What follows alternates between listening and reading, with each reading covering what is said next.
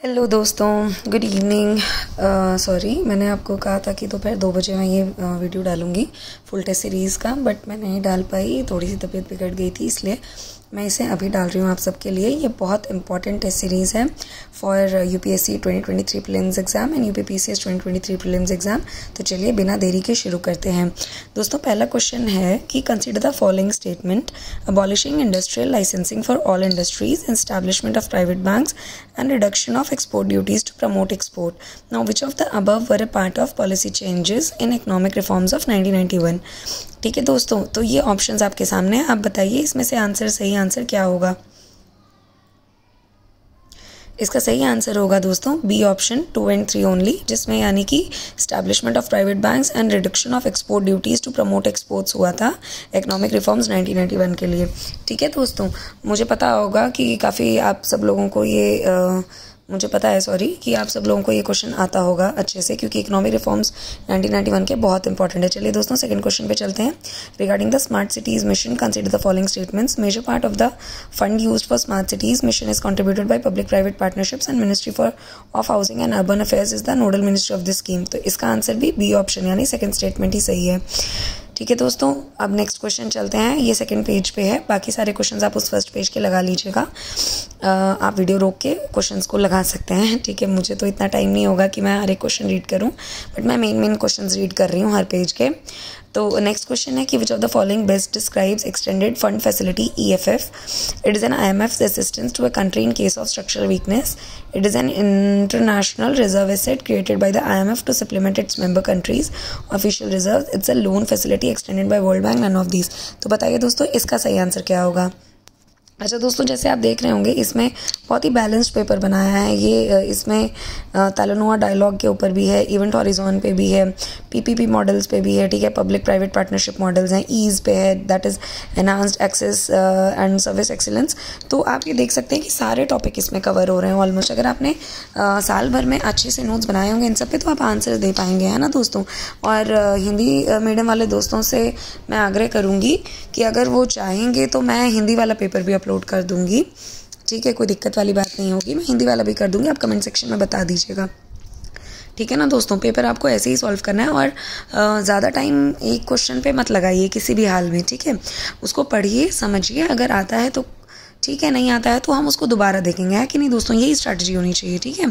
चलिए consider the following statements about PM Svanidhi urban local bodies have an important role to play in the implementation of this scheme and this scheme is aimed at micro small and medium enterprises which of the statements given above is are correct अब ये बताइए दोस्तों, इसका answer क्या होगा? अच्छा दोस्तों, आप टेंशन मत लीजिएगा। इस वीडियो में मैंने सिर्फ़ थर्टी नाइन क्वेश्चन ही लिए हैं।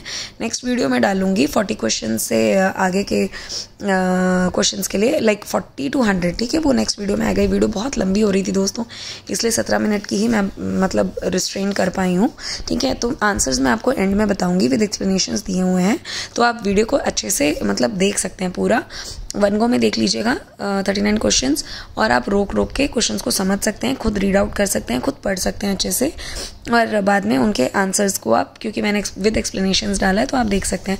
दोस्तों, ये दृष्टि आई वालों की टेस्ट सीरीज़ है, बहुत अच्छी टेस्ट सीरीज़ लगी है मुझे तो आप ये बहुत अच्छे से देख सकते हैं और क्वेश्चन की प्रैक्टिस कर सकते हैं।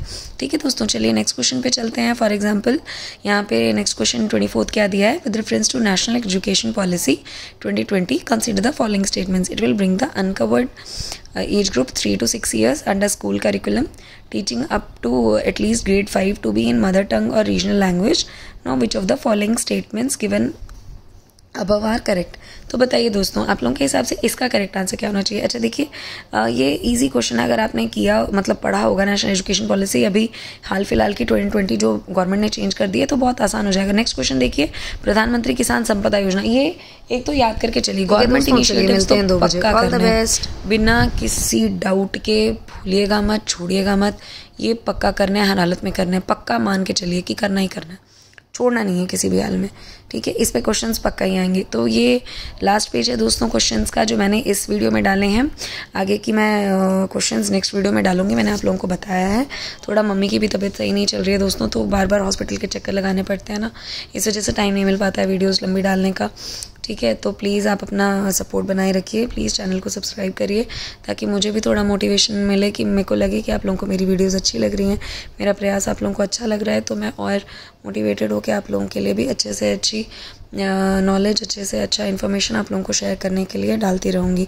ठीक है दोस्तों, अब ये क्वेश्चन देखिए with reference to the Marine Products Export Development Authority consider the following statement the state owned agency engage in a fishery production and allied activities function under Union Ministry of Commerce and Industry and its mandate is to increase exports इसका answer कर लीजिएगा। अब देखिए दोस्तों, ये मैंने explanation डाली है, बहुत अच्छे से एक्सप्लेन किया गया है। फ़र्स्ट क्वेश्चन का आंसर मैंने आपको बताया था बी ऑप्शन है ना। नाइनटीन के इकोनॉमिक सिनेरियो में क्या रहा है? India sought an alternative to the extreme variations of capitalism and socialism, and India adopted a socialist society with a strong public sector but also with the private property and democracy. As a part of it, India adopted a centralize planning approach अब इसमें 1991 का economic crisis भी इन्होंने detail में आप लोगों के लिए एक्सप्लेन कर दिया है और इकोनॉमिक रिफॉर्म्स भी डाल दिए हैं। ठीक है दोस्तों? मेजर पॉलिसीज़ जो चेंजेस हुई हैं, वो भी इन्होंने बहुत अच्छे से पुटअप कर दिए हैं like abolishing industrial licensing for industries except alcohol obviously cigarettes hazardous chemicals etcetera ठीक है? अच्छा ये इसलिए स्टेटमेंट वन करेक्ट नहीं रही। ठीक है? याद रखिएगा। अच्छा कुछ इंडस्ट्रीज़ के लिए ही उन्होंने मतलब एक्सेप्शन छोड़ा था एल्कोहल सिगरेट्स वगैरह वगैरह के लिए। क्यों? क्योंकि भाई पता ही है, इससे तो मुनाफा ही सरकार को बहुत ज़्यादा होता है ना? तो जो रिफॉर्मेंस जो जिन्होंने इस्टेब्लिशमेंट ऑफ़ प्राइवेट ग्रुप को किया, इस वजह से ऑप्शन टू इसका सही आंसर अब जैसे क्वेश्चन नंबर फोर का एक्सप्लेनेशन है कि सोवरन वेल्थ फंड क्या है? जैसे स्टेट ओन्ड इन्वेस्टमेंट फंड ठीक है? ये बहुत इंपॉर्टेंट दिया है इन्होंने, कि बहुत अच्छे से एक्सप्लेन किया है कि सोवरन वेल्थ फंड होता क्या है। स्टेट ओन्ड इन्वेस्टमेंट फंड है which comprises pools of money derive from countries reserves right दोस्तों?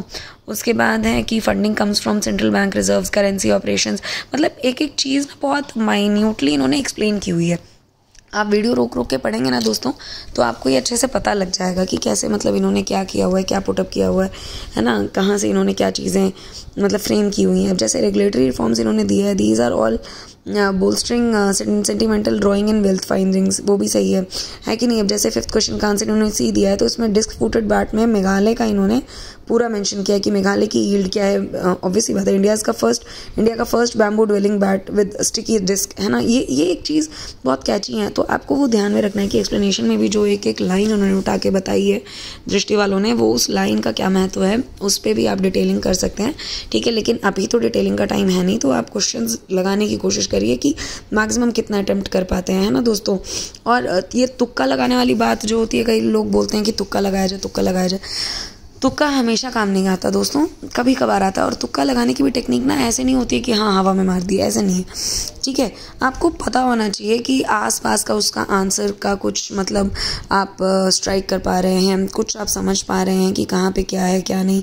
तो वो आप मतलब अच्छे से फिर उस चीज़ पे आप उस ऑप्शन को एलिमिनेट कर पाएँगे, तब आप उस ऑप्शन पे आप सही जवाब दे पाएँगे। ये थोड़ी ना कि हवा में तुक्का मार दिया है क्वेश्चन करने हैं, फटाफट फटाफट के चक्कर में, अरे नहीं भाई, मेरे को मैक्सिमाइज़ करना है, अपने अटैम्प्ट ऐसा नहीं करना है, ठीक है? किसी भी हाल में, इन एनी केस ये यूपीएससी हलवा नहीं है दोस्तों, ठीक है? और ऑब्वियसली बात है पीसीएस भी हलवा नहीं रह गया। पीसीएस भी नॉर्मल चीज़ तो नहीं रह गई है। कंपटीशन टफ होता जा रहा है दिन प्रतिदिन तो हमें भी अपनी स्ट्रैटेजी उस हिसाब से चेंज करनी है। है कि नहीं दोस्तों, कि कर, कि कम टाइम में मैक्सिमाइज आउटपुट है ना?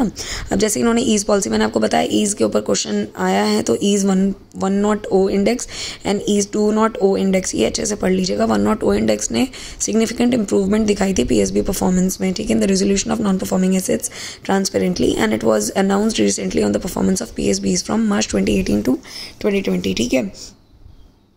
ये काफ़ी सारी चीज़ें हैं जो आपको मद्देनज़र रखनी है।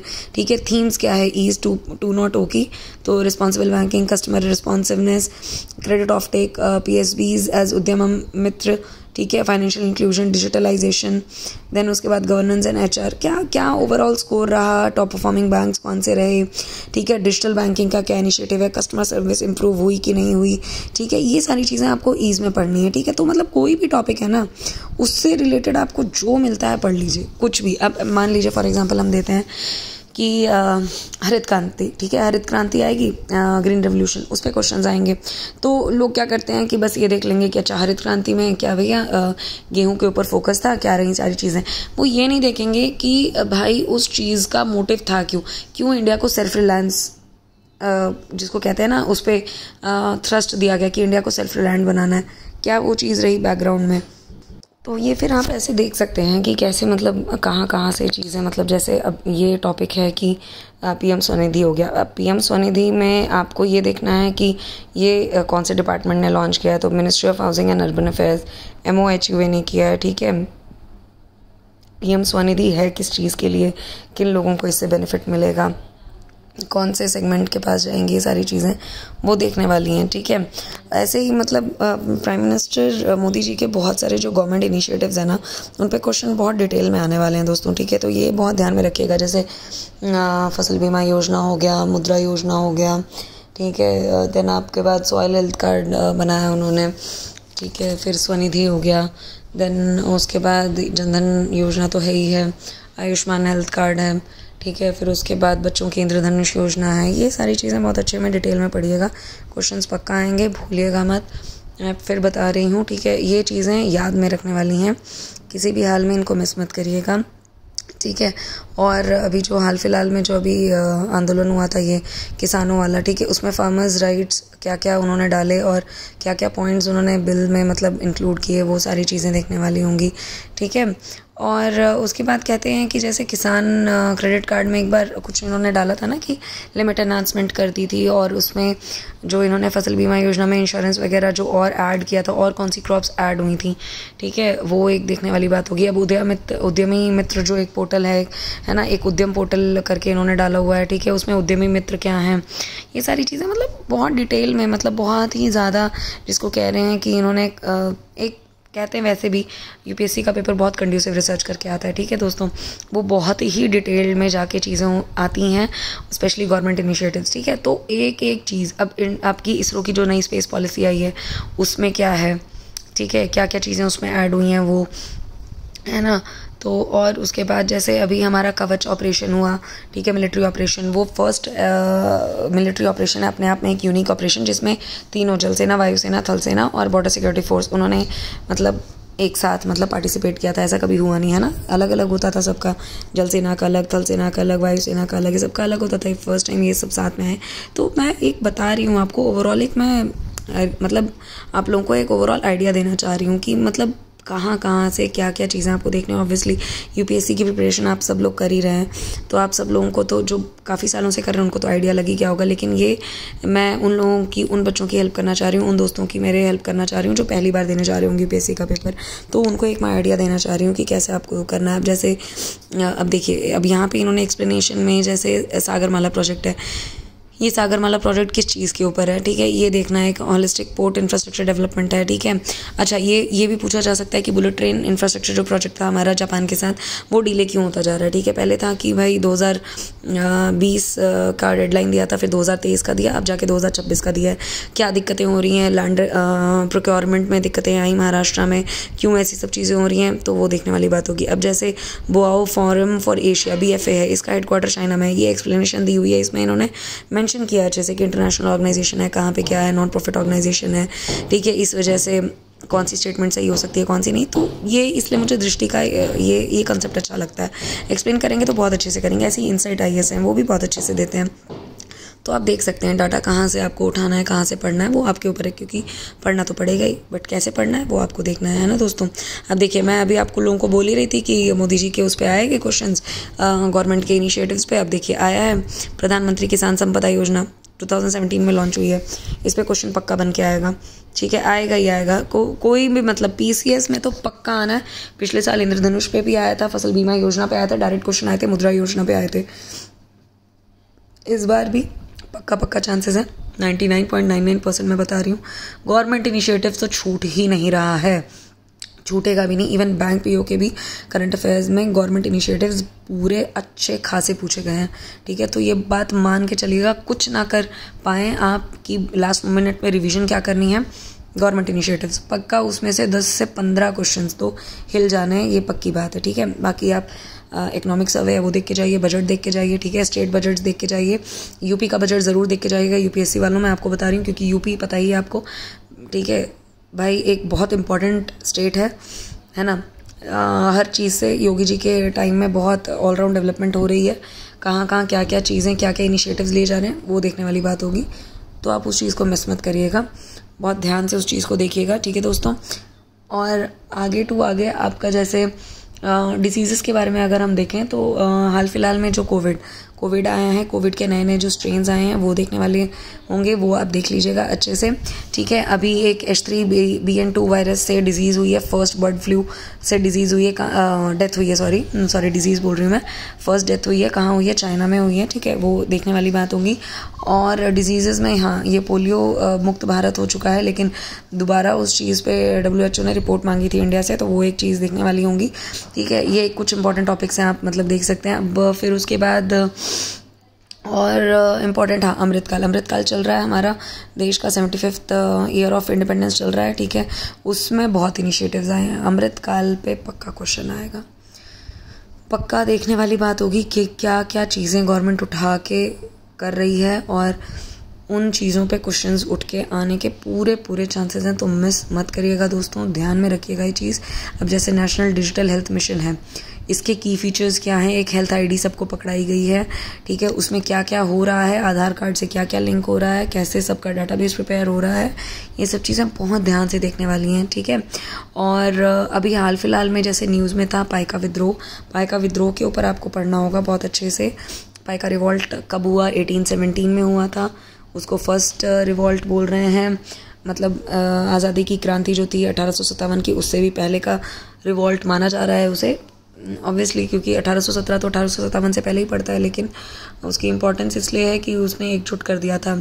सभी वर्ग के लोगों को, चाहे ऊँचा वर्ग हो, पिछड़ा वर्ग हो, दलित हो, सब, हर किसी को एक साथ एकजुट होके उस टाइम पे यूनिटी बहुत होती थी। आज तो हम लोग सब आपस में इसमें बट गए हैं, जातियों में, गलत बात है। सबको एक साथ रहना चाहिए, कोई ऊँचा नीचा नहीं होता, दोस्तों है कि नहीं? ठीक है, सब सब समान है, भगवान जी के द्वारा बनाए गए सब, हम सब एक ही तो हैं। इसमें क्या, कौन क्षत्रिय, कौन ब्राह्मण, कौन शूद्र? कौन बनिया, ये सब कुछ नहीं होना चाहिए। ये सब बहुत ही गलत विचारधारा है, ठीक है? तो ऐसे ही आपको फिर दोस्तों आगे पढ़ना है कि इंस्टीट्यूशनल डिलीवरीज इंडिया में कौन कौन सी हुई हैं, ठीक है? क्या मतलब उसमें चीज़ें आई हैं? नेशनल सिनारियों में नेशनल हैंडलूम डे कब मनाया जा रहा है? हाँ हैंडलूम बहुत इंपॉर्टेंट चीज़ है, क्योंकि ऑब्वियसली बात है। इस पर अभी मोदी जी ने बहुत जल्दी हैंडीक्राफ्ट पे डाला था कि उसकी इंपॉर्टेंस बढ़ाने के लिए। ठीक है दोस्तों तो ये आप देख सकते हैं। Thank you for watching my video please subscribe करिएगा चैनल को। मैं नेक्स्ट वीडियो जल्दी डालूँगी। बाय दोस्तों थैंक यू सो मच